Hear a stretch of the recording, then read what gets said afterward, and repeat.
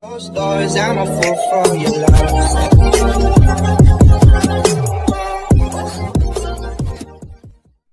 Tony Pauler, ginulat ang buong social media sa kanyang latest post na kung saan mga ka-DJ ang caption ng kanyang post Bala kayo dyan, basta ako.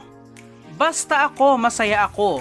Iyan lang naman ang laman ng caption ng kanyang post mga ka-DJ. Kasabay niyan ang larawan na kanyang pinost na kung saan mga ka-DJ ay mapapansin nga natin na tila ba buntis na si Tony Pauler at lahat na masiguro tayo mga ka-DJ ay mapapansin ang paglaki ng kanyang tiyan. Kaya naman mga ka-DJ nang dahil dyan ay napakarami ang nagulat at bukod na dyan mga ka-DJ ang solid na tagahanga ng Toro family. At ang matindi pa dyan mga ka-DJ, ayon sa ibang mga netizen mga ka-DJ, ay si Tito Vince daw di umano ang tatay ng ipinagbubuntis ni Tony Fowler.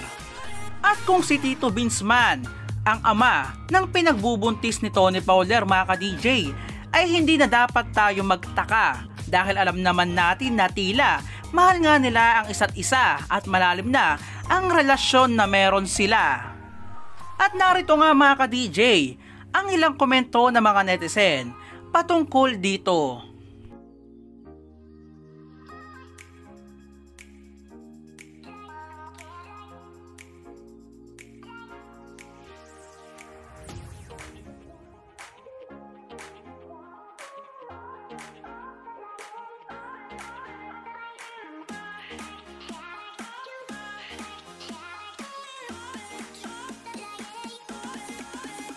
Kayo mga ka-DJ, anong reaksyon nyo o opinion nyo nang malaman nyo na buntis na si Tony Fowler?